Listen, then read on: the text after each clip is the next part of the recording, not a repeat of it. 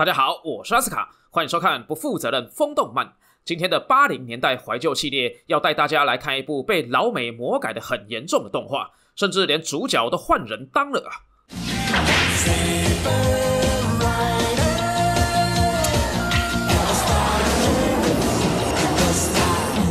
上周《神龙特工队》结尾放的音乐预告，很多人都猜到了，正是这部《宇宙骑兵》，原名为《新冲士比斯马 k》。本剧是由皮耶罗工作室所制作的日本机器人动画，于一九八四年由日本的日本电视台播出。播出时因收视率大受好评，使原先只预定制作二十六集的剧情延长至五十一集。之后于一九八六年被美国的 WEP 公司买下版权，就是最喜欢魔改日本动画剧情的那间公司。详情可参考热血军的百兽王圣战士。版权被买后，大幅改编为美国版的 Saber Rider and Star Seraphus。这一改不但配音和主题曲改动外，更是将第二主角直接改为第一主角，且为了符合国情与电视尺度的差异，删除跟变动剧情的顺序，还制作了六集原创内容。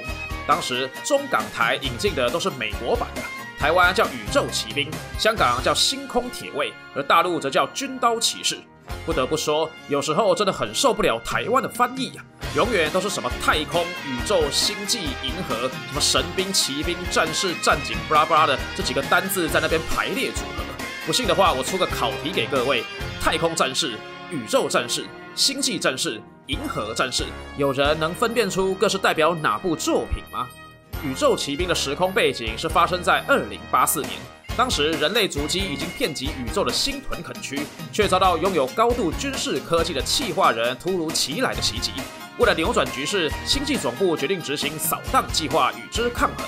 所谓的扫荡计划，是一艘为了对抗气化人所开发出的巨型战舰“扫荡号”，可借由小牛动力变形为“扫荡号”机器人。它的处刑技不是用剑将敌人劈成两半，而是一招叫“扫荡炮”的绝招。出招时会从胸部展开各式枪支，集中射击。扫荡号的原文叫俾斯麦，也就是剧名的比斯马 k 平时可由单人独立航行，但要进行更精密的战斗，则需要四人来操作。这四人又被称为星际警探，成员分别为火球 Fireball，是个性格热血、技术超群的年轻赛车手，为十五年前与气化人交战而死的飞行员遗孤。在日本版动画，火球是一号的男主，因受亡父影响成为太空人，而被评选为扫荡号的驾驶者。由于父亲跟星际总部的飞鹰司令是旧识，所以与女主小春是青梅竹马。结果到了美版变成了二号男主，不但跟女主完全不认识，初次见面还因为火球优异的驾驭赛车的技能而被随意找来充当扫荡号的驾驶。直到故事中期才知道当年父亲于战争中失踪的真相，负责扫荡号的主驾驶宝哥 Saber Rider。来自于苏格兰，头脑冷静且善于谋略的青年，是成员之中无可取代的智囊要角。在日版，他是圆桌武士兰斯洛特的后代子孙，效命于英国皇室特别谍报部的干员。而美版的宝哥则是一号男主。故事的开头，哥就已经是个传说了。不但星际警探的美名享誉全银河，还跟女主有暧昧不明的感情。全剧都是以他的自述作为每集故事的开场，担任扫荡号的战情指挥。小马 Clout 是个枪法神准的神枪手，个性放荡不羁，时常招惹麻烦，为成员之中不可或缺的甘草人物。在日版，他是美国最年轻的喷射机飞行员，在加入星际警探之前是太空冲锋队的队长。美版则因双亲遭气化人杀害而成为赏金猎人，以空中花式飞机特技流浪天涯。由于枪法神准而担任扫荡号的攻击手。小春 April。可能因为英文是四月，所以翻作小春。她是星际总部飞鹰司令的掌上明珠，也是剧中唯一的女主。对于使用枪械等武器十分的排斥，但空手搏斗的实力却不差。在日版，她是法国最年轻的女科学家，对于青梅竹马的火球有着十分深的情愫，时常刻意制造机会与她接近。结果到了美版，变成渣女了。一开始单恋本为旧世的合作伙伴宝哥许久，还见过人家的父母了。没想到火球入队后，竟然跟两人都有暧昧的关系。不过最后剧末仍遵照原作和火球在一起，负责扫荡号的通信跟导航。此外，四人都有属于自己的专用小座机。火球驾驶的是一辆专用副座式的越野赛车，名为奋进号。宝哥的坐骑是一匹相当具有灵性的机械马铁骑，小马开的是一台单座式的小型飞机野马号。而原本在日版小春是没有坐骑的，美版则给他一匹跟铁骑相同性质的机械马，名叫 Nova。星际骑兵的故事就跟其他机器人动画一样，又是外星人打算占领人类的居住地。这次的入侵者名为气化人，是从一个叫气化区的异次元来到人类的世界。他们不但能活在没有氧气的环境下，还拥有变成人类外貌的能力，能轻易的渗透进入人类的世界。最屌的是，他们还打不死的。对他们而言，所谓的死亡只是化成气体传送回原来的次元，等待重生。刚开始，星际警探的成员只有两人，就是美版的男主宝哥与飞鹰司令的女儿小春。两人听说有个气化人间谍出现在有马星球，于是一同前去追捕他。来到有马星，正巧碰上这里最有名的赛车大赛。日本男主火球驾驶他的奋进号一路领先，中途突然冒出了一个开飞机的冒失鬼，跟奋进号擦肩而过。此人正是三号的男主小马。两人互相确认过眼神，小马发现火球不是他要找的人后，就驾着飞机离去，害火球差点翻车被人追上。不过他最后还是凭实力拿到了冠军。与此同时，宝哥也刚制服了两名抢匪，来到一间豪华的旅店想住宿。由于现在刚好是赛车的热季，宝哥没有线上预约，房间早就都被订满了。此时，火球也在一堆粉丝的欢呼声中走来。原来他刚好也是这家旅店的住客。接过前台钥匙后，宝哥突然伸手去抢。警察办案要借用你的房间？哎，麦来鸡头，这部动画没有这种事的。就在两人争论不休时，突然一个牛仔乱入，抢走了钥匙。火球认出他就是差点害自己输掉比赛的家伙，才正想找他算账，没想到牛仔就因为乱把妹，被女方的爸爸拿枪追杀。最后宝哥跟火球也当了朋友，一起共用房间。而小马逃离女孩老爸的追杀后，也换了装，背上飞行器，继续寻找他的目标。原来小马是一个赏金猎人，他要找的人跟宝哥一样，就是这个气化人间谍。可是你都把人干掉变气化了，要怎么证明是你抓的啊？而宝哥也在烦恼，人挂了怎么问出 Ramra 的情报啊？Ramra 就是扫荡号的英文。幸好小马刚刚听到间谍正在跟同伴汇报，扫荡号就停在边境的前哨基地，现在一定正遭受敌人的围攻。于是三人都不约而同的来到基地，各自展现自己的实力与敌人作战。火球率先发现停在不远处的扫荡号，车子才刚靠近，小春妹子就跑了过来。看你开车技术这么好，从今天起你就是星际警探兼扫荡号的驾驶了。哎，靠呀！你们选人都这么随便的啊？没办法啊，因为第一集就要全部集结完毕了。继火球之后，宝哥跟小马也冲了进来。小春说了句成员都到齐后，立即带他们前往扫荡号的控制室，并依照三人的专长分配各自的驾驶座。此时敌人也派出了战斗用巨型的机器人，在剧中称之为叛变号。主角们连使用手册都还来不及看，就将扫荡号开出去战斗了。结果飞机状态的扫荡号当然不是对手，没办法了，只好使用小牛动力。啊，那是什么鬼呀？你驾驶座前有一个像 KTV 服务铃的，按下去就知道了。火球按下服务铃后，四人的驾驶座竟然开始位移。扫荡号也随即变形为扫荡号机器人，最后在众人通力合作之下，顺利解决掉他们遭遇的第一架叛变号机器人。火球跟小马也拿到比猎人执照还难考的警探执照，一同加入成为星际警探的行列。成为星际警探后，进行了不少支线任务，像是什么矿坑救人、破坏敌人的前哨站，或是干掉伪装成吸附叫人入会的气化人，使每个成员的等级都提升了不少。有时气化人也是会用点头脑的，曾经伪装成一个在灾难中幸存的女孩，让小马一见钟情，瞬间坠入情海。若不是狗狗登场救援，小马几乎要领便当了。不过每集都有一个共通点，就是只要火球不在，扫荡号就无法变身。小马快变形啊！但这服务铃只有火球可以按啊！动画组没有画我蓝色手臂按按钮的动画章啊！练了不少等候，终于要开始执行主线任务。某天，星际警探奉命前往中立的贾尔王国缔结同盟，而负责接待的罗兰王子一路上都是一副结使面啊。当小春一提到老爸飞鹰司令，国王还立即翻脸，并限制所有人的行动。小春赶紧询问老爸这是怎么一回事。原来十五年前，贾尔王国曾受到气化人的侵略。当时国王曾向星际总部求助，可是总部军队来晚了一步，现场已惨不忍睹。从此双方就结下了心结。所以你就让我们来当炮灰啊！解铃还需系铃人，你应该自己来才对啊！看，才不要！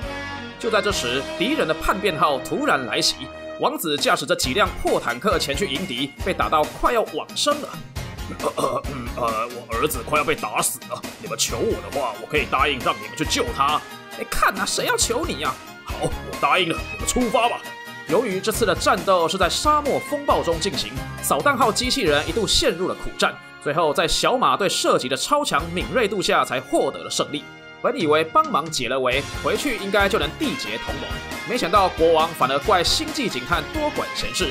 为了让他们死心，还带他们去参观了一艘号称用国家最先进的科技制造的战舰。有他在，不要说气化人了。就连有台赫尔博士的机械兽都不是他的对手呢。陛下，不是我想吐槽，这一看就是一集就挂掉的跑龙套道具而已呀。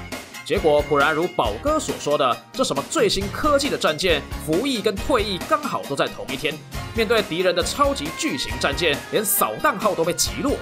于是宝哥要小春将扫荡号开到战舰的上方，三人决定潜入内部，从里面进行破坏。途中还不幸落入陷阱，遭到敌人四面包围。不过，通常敌人拿的枪都是设定成打不中主角的模式。很快，三人就在敌舰内大肆的破坏一番，将敌舰炸沉。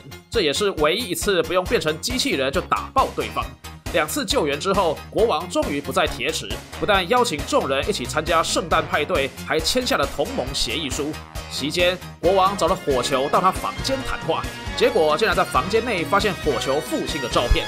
国王告诉火球，十五年前就是他父亲救了自己。当时他父亲谎称有重要情报，假装投敌。等敌人发现被骗时，他已经混进了气化区。最后驾着小型的战机直冲对方的指挥舰，跟大魔王天仇魔君一起炸毁。我知道这名字很中二，但真的就是这样翻的啊！也是因为火球父亲的牺牲，换来宝贵的十五年和平，才让人类有了充足的时间备战。如今看到火球，就像看到他父亲的影子一样。贾尔王国才刚加入同盟不久，气化人就攻打过来。不过国王却发现有部队集结在附近的一个小星球，他猜想攻打王国是假，目标应该是那星球上的炼油厂。于是国王要星际警探前往调查，王都就靠自己的军队来守护。果不其然，气化人正想搬空炼油厂的所有资源，还不讲武德，一次派了三架叛变号来对付主角们。扫荡号双拳难敌四手，被打得很惨。多亏了宝哥出色的指挥能力，引导队员采取各个急迫的战术，先干掉一只，接着扫荡号威力全开，一次解决剩下的两只。这场战役中，火球也毙掉了对方的干部加特，之后更是追击气化人的宇宙船，想趁他们打开空间的通道，跟进去踹掉对方的老巢。气化区是一个跟人类世界完全不同的维度，扫荡号上的众人快要承受不住这压力，结果宝哥竟然单枪匹马追了过去。来到敌人大本营后，还直接杀到天仇魔君的面前，在此也终于知道气化人的秘密。原来他们在人类的世界被打死，会化成气体传送回原来的次元重生；但要是在自己的气化区被干掉，则会变成普通人。这一战，宝哥砍断魔君的光剑，差点就打倒他，可惜最后还是被逃走。这应该算是前半段人类获得的最大胜利。不过这集其实是美版自己加的戏，为了更凸显出宝哥才是主角啊。经过一连串的挫败，魔君终于找了个有脑的打手。这人名叫杰西，是个人类，原本是星际总部中最优秀的学员。某次上柔道课时，对教官小春一见钟情，没想到在宴会上对小春表白遭拒，不但当众出丑，还被上司惩罚。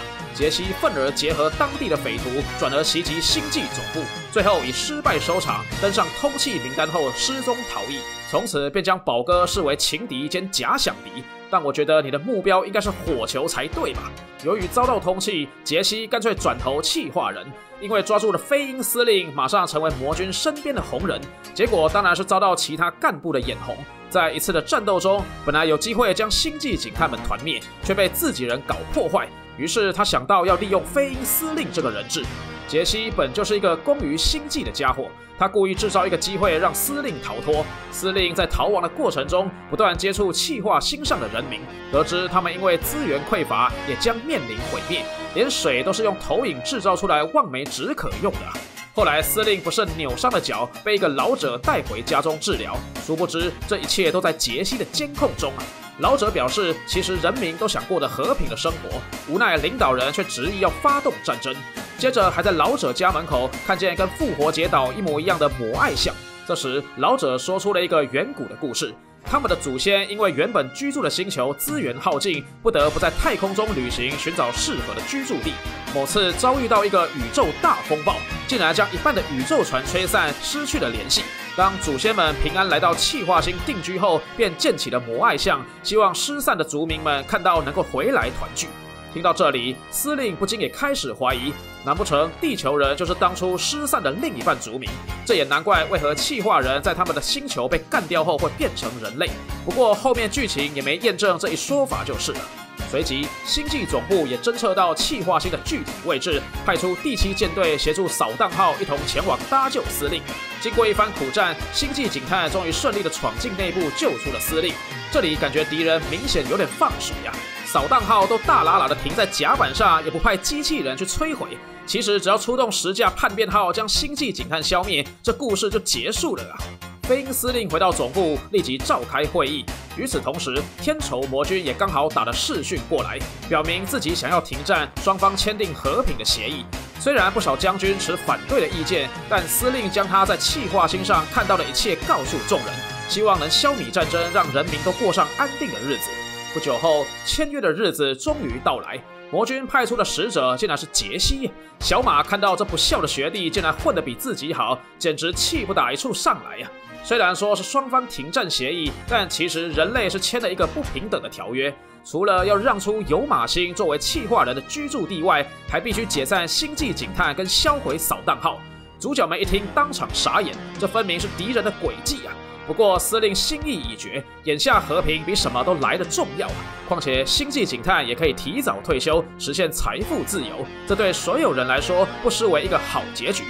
扫荡号拆解的当天，所有人都来到现场围观。过去一同经历过的种种回忆，警探们全都历历在目。不久后，一片片的钢板被无情的切割，甚至如同扫荡号心脏的涡轮都被拆解了下来。一旁的杰西表示，涡轮必须完全摧毁才行。技师们却说，这是用特殊材质制作，普通工具无法切割。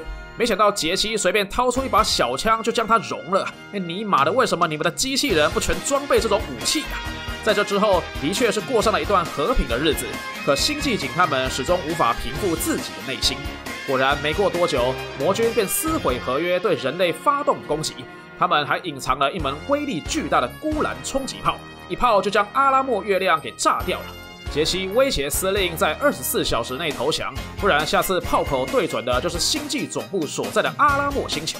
但是年轻人终究是年轻人，飞鹰司令为了预防对方毁约，老早就留了一手啊。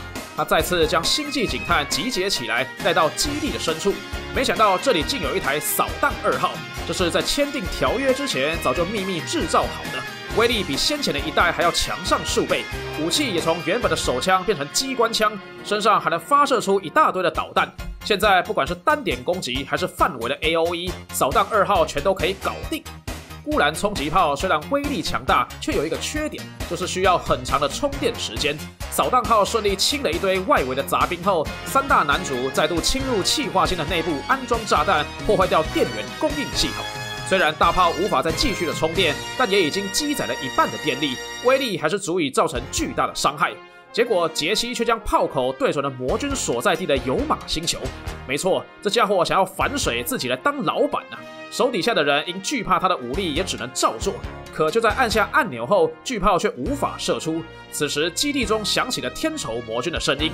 原来，眼前这台大电脑才是魔君的本体。十五年前，因为火球父亲的自杀式攻击，魔君也因此失去了肉身，消失匿迹了一段时间。不过，他的大脑没死，后来被改造成机械生命体，再次的复活。